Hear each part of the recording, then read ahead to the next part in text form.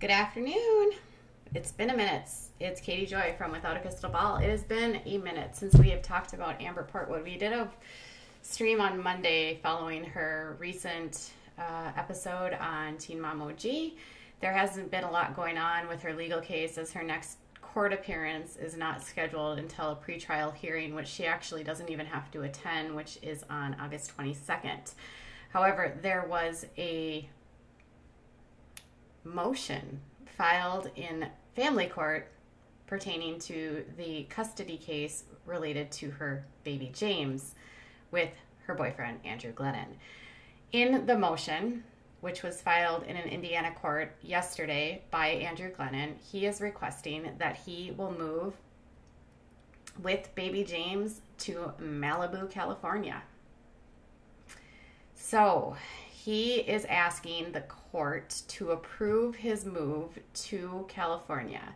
Amber Portwood, for her part, has up to 60 days to respond to these to the motion or to object to the motion if she does not respond obviously he can move this is a request to the court for moving is common when a custodial parent is requesting to move out of state and they have an active custody case or custody agreement in the state. So, a, a lot of questions here are can he actually do that? Can you move when you're in the middle of a custody battle? So, the answer is you can. In the state of Indiana, according to Legal Beagle, anytime a parent intends to relocate, especially when a move is out of state, the parent must notify both the other parent and the court that issued the initial custody order. Under Indiana law, a notice must be served no later than 90 days prior to the move to allow the other parent the opportunity to file a motion of objection. The parent planning to relocate must prove that the move is necessary and is in good faith, not simply just to prevent the other parent from seeing the child. The parent objecting to the move must then show that relocation is not in the child's best interest. What the court will actually consider, according to Legal Beagle, is how far the new residence will be from the other parent's home, whether the parent as well as the grandparents will be able to see or have a meaningful visitation with the child, whether the parent or grandparents will suffer any financial hardships in attempting to have visitation with the child, the reasons for the relocation, and the other parents' reasons for objecting to the move, and whether the relocation is an attempt to keep the child from the other parent. So a court will be will then rule on whether or not this is going to be approved and they will determine if it's in the child's best interest. Will the child suffer from the relocation? And they will consider whether or not they grant the motion from the objecting parent or if they will approve the move by the custodial parent. So, can he do this? Yes. Should he do this? I don't know. This is weird to me. Like, they haven't even gotten through the legal case. So, at this point, there hasn't even been justice served or um, a conviction in the case against Amber. Thus far, there hasn't been a permanent custody. There hasn't been permanent custody really determined that, that I can tell. She has supervised visitation with the court I don't know how you would do supervised visitation with the court if you're in another state. And he is the custodial parent, so theoretically he could file this. However, there's still an active criminal case against Amber related to the July 5th incident.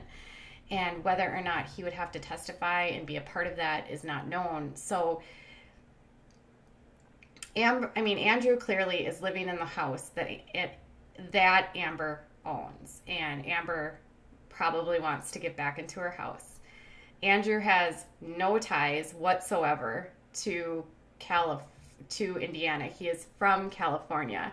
So it's more than likely that he is hoping to move back to California with where he has support from his family and his friends being that he has the reason why he was in Indiana was because that's where Leah is Amber's daughter from her previous relationship with Gary Shirley. So part of me just why is he in such a rush to go now? Maybe it's that he needs more help. Maybe he wants to be able to work and he doesn't have resources to, to do those types of things. I can understand in one breath why he would want this. He probably wants the help from his parents um, to help with James. It's not easy to do uh, single parenting, especially when you are not from the state in which you're living. He has only lived there for like two years now. He probably doesn't have a very big network. He hasn't worked there. All of his employment and work that he had been doing previously in the entertainment industry was in California. So it would make more sense for him to move back to California for him to get back to work. But, and maybe he believes that the case against Amber will result in her being incarcerated, which it theoretically could because she is facing multiple charges at this point three felonies, which all three of them could land her in jail for up to two and a half years. Whether or not the judge decides to be nice or not, she could face anywhere from two and a half to seven and a half years in prison for what happened on July 5th. So there's a lot of questions here on whether or not this is actually good or not. I'm sort of torn here. I kind of feel like when you have a baby with someone, you don't move out of state of where that other parent is going to be. Perhaps he has a feeling that the custody against her will be terminated due to maybe her mental health, or maybe he knows something that we don't related to the criminal case. If she goes away for to prison, she would still after she's released, unless she, her custody is terminated by the court, still be granted visitation with her son. So the mom in me is just I'm torn. What it doesn't seem like it's in the best interest of him, James, to be removed from his entire family that he has lived with in Indiana, but at the same token, it doesn't seem fair either for him not to have access to the family that he has in California. And I guess the court will have to determine whether or not, from a employment support and family standpoint, if this is a better decision for James. If you're interested in sending a super chat, hit the button on the bottom next to the smiley face that looks like a dollar sign. So, legally, he can do this. I feel like perhaps if I were in his shoes, I would wait. I don't know that I would do this as because we don't even know if she'll be convicted. And unless you know that she's going to be convicted and you don't know whether or not, like, they haven't stated that her parental rights are terminated or anything like that, you don't know that she's going away.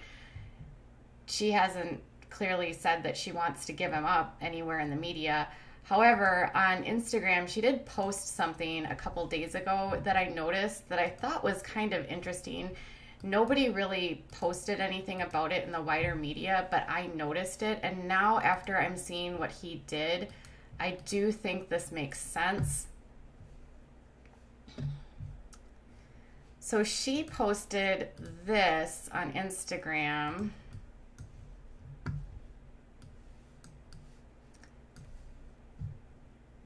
Which says, My God, this hurts worse than anything. And that was posted on two days ago. Before Andrew before Andrew actually filed the motion with the court, he would have had to notify her that he was going to file the motion. That is a requirement in the state of Indiana that the other parent is given notice ahead of time that he's planning to file this motion. So she likely knew that by Wednesday that he was planning to file this motion in court. And so that would make this to make sense. My god this hurts worse than anything. And to be honest like i as a mother would be devastated if my former spouse did the or spouse or partner did this to me. Um, i'm not a fan of parents separating children from other parents but maybe he knows something i don't. I don't know. It's a very difficult situation and without all of the legal ease and knowing what's going on in the case, it's hard to form an opinion here. But I wanted to get this out to you because I know a lot of you are following the story, and I wanted to see if you had thoughts and maybe you can give me some of your insight, or maybe you have gone through something like this and you can share those in comments. I am always open to hearing about this kind of stuff. As much as we can be frustrated or, um, agitated with Amber for what's happened, she is still legally his mother. And so that part, like that mom part of me, feels like we should probably, he should have waited. But I guess that's my just my opinion.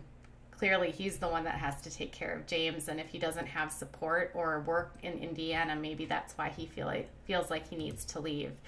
Clearly, more than anything, we should take this as notice that this relationship is 100% over. If he is planning to leave the state, they will not be rec- reconciling. So, what happened on July 5th was the culmination of a very messy breakup. So, tell me what your thoughts are, and if you've experienced this or you know anything about this and what the probability of something like this can actually happen. I would, I am all ears. I will be back later with more from Without a Crystal Ball. I hope you guys have a great day. Bye.